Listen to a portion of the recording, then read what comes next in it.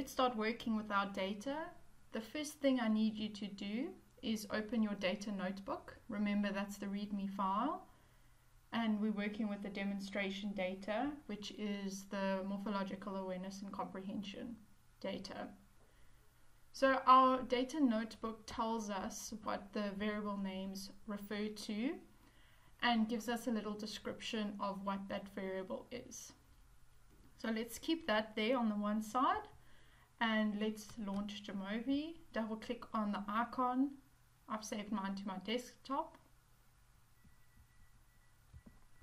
Okay, so as you saw in the previous video, you open with a blank screen.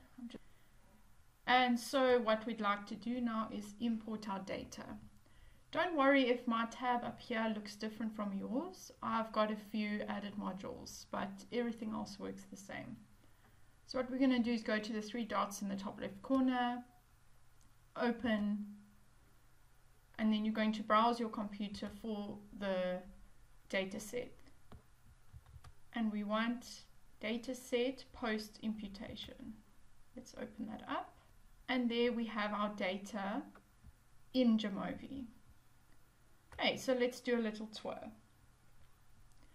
These are our columns or variable names. You can see how they correspond with the variable names in the README file. Okay.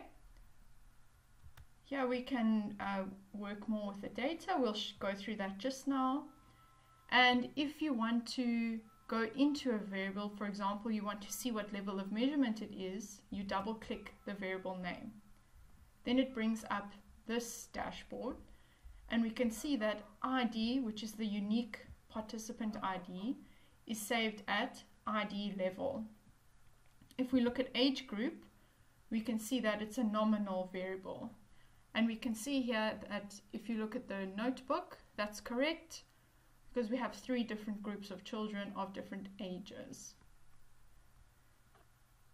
Let's look at school year we can see that that's also a nominal variable and it ranges from year 2 to year 8.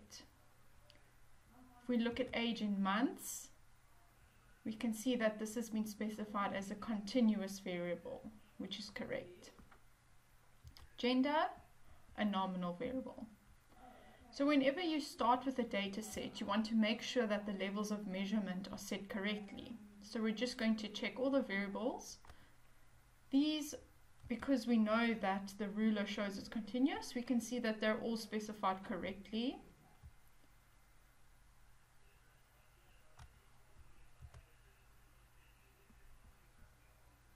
Okay, I don't know what this variable refers to, so let's go to the notebook. Remember, people don't usually memorize what these uh, variable names stand for. You can always just refer to the notebook and we can see it gets a 1 if the child completed the passage for the secondary test, otherwise it's marked as missing. NA means missing, in Jamovi it just scores it as blank. So we carry on looking, and all our variables are continuous variables, which is correct. But let's now go and label our categorical variables for age group. The numbers 1, 2, and 3 don't really mean a lot. So let's use what's written here to change the label. So level 1 in the notebook says it's 6 to 8 years. So let's just put in 6 to 8 years here. You double click so you can edit it and say 6 to 8 years. The same for number 2.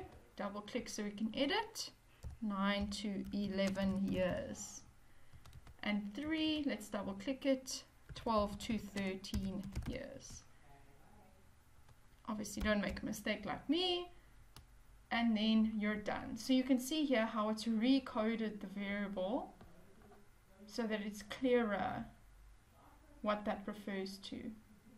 And gender, we could do the same. We could change this to female and this to male. But it's actually already quite well specified because we know that F and M correspond to female and male. So you can just control Z to undo it, or you can use these arrows at the top. Finally, Now we're happy with our, the way the data set looks. Let's save it. Go to the three at the top. You're going to say save as. Browse where you want to save it. So I want to save it in a new folder called Jamovi Analysis. And I want to use the same name, but it's going to now get the extension .omv. So let's save it. Now it says save to dataset. And that is how you prepare your variables and how you navigate around once you import a dataset.